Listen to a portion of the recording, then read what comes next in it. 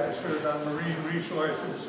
Uh, Very, two very vital uh, committees, and I am running against uh, Chris. And I really think I can beat him, there's no question in my mind. Uh, uh, One thing that you'll find about me, and look at my record, I usually say what I mean and do what I say. Uh, And that's one of the things that uh, I'm known at, in- around the State House for. Uh, call me the coach up there, because I was a former coach at Rockland, so uh, uh, when people uh, talk about Ed Mazurek, it's it's, uh, not high representative, it's high coach. What do I stand for? I stand for the democratic values. I I believe in our state, I believe we have to maintain the environment of our state, the, uh, the attractiveness of our state. We have to make it a better place. We have to take care of our elderly. We have to take care of our, our, our children. Two of the main goals that are being chipped away at by the present administration. We can't allow that to happen. I know that, uh, I see Chuck Kruger here. Uh, Chuck's a, uh, a fellow representative, a hard worker. Uh, You're very lucky to have a person like Chuck serving for you So I just want to say that uh, I appreciate uh, uh, the support that we get.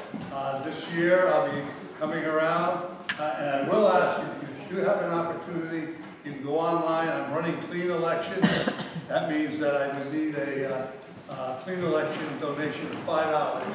You can go right online, there's a, uh, I I don't know if Diane has the, uh, I don't have an handy. Does anyone- yeah, those, Yes. that yellow thing right there, and you can just type in and punch in the five dollar donation. Uh, Or, uh, I don't know if you have the other one, if you have a check, you can leave a check.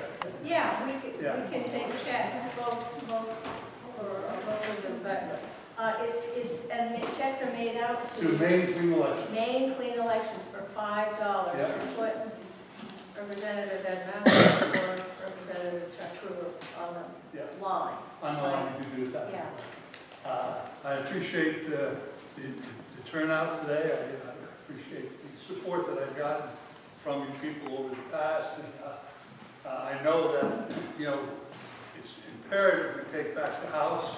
It's imperative we make good inroads in the Senate. We can stop what's going on in Augusta right now.